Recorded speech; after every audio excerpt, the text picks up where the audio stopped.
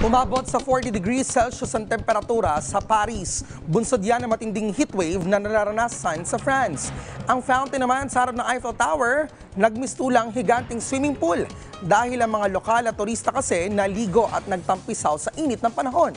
Si Dick Villanueva sa detalye. Rise and shine, Dick. Tuloy na nakakaranas ng mainit na temperatura ang mga taga Paris, France. Noong Martes, pumalo sa 40 degrees Celsius ang pinakamataas na temperatura. Sa subway station, mangilan-ngilan lang ang mga pasahero dahil iilan lang din ang air-conditioned train na bumabiyahe. Nagmistulang swimming pool naman ang fountain sa harap ng Eiffel Tower. Marami nagtampisaw dito para maligo.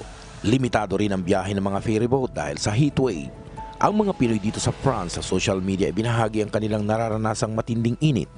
Kaya sa Pinoy halo-halo ibinaling ang pansin para lumamig ang pakiramdam. May isang restaurant na rin sa 16th District ng Paris ang nasunog dahil sa matinding init. Malapit ito sa pasyalan ng mga Pinoy. Sa bansang Monaco naman, tuloy sa trabaho ang mga Pinoy doon. At napakainit po ngayon, meron po tayong degree na 35 degrees.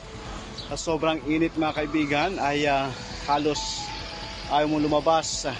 Halos wala kayong makita dito sa labas ng tao. Lahat halos nasa loob ng ah, supermarket para ah, makasilong at ah, makatago sa init ng araw. Panawagan ng Imbahada ng Pilipinas sa France, sumunod sa mga abiso ng autoridad kung paano makaiwas sa matinding epekto ng heatwave.